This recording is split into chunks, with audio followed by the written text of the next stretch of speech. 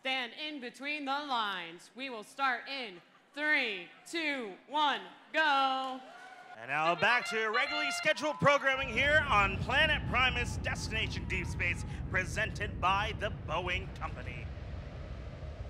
We have a pair of Red Alliance robots moving across that hab line. 2583 though on the Blue Alliance, zooming forward with a piece of cargo in tow.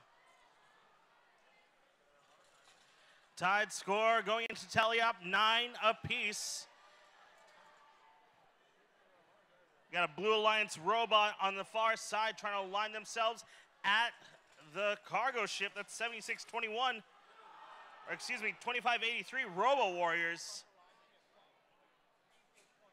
Meanwhile, 2881 Lady Cans trying to grab a hold of a hatch panel, and they do. Let's see where they'll place that. Looks like they're going towards the rocket on the far hand side. Plenty of cargo abound in the far corner for the Blue Alliance as 2583 Robo Warriors grabs a hold of a piece there. 27-21 meanwhile, Fang trying to maneuver around, trying to get back into action there. Their teammates though, Ladybots, trying to go for that hatch panel on the near hand side. Iron Rangers now maneuvering their way onto the red side of Planet Primus. As a piece of cargo does fall out from the Red Alliance robot, rocket.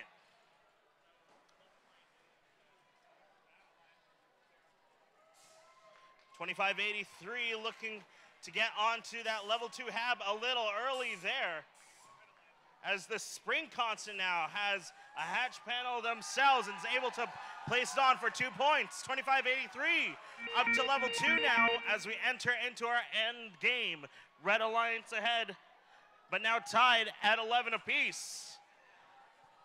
28-81 Lady Cans trying to get the right position there for the level two hab. 13 seconds to go, still a close match.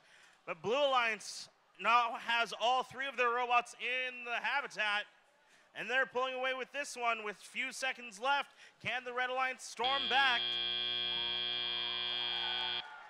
We'll have your official results in just a moment.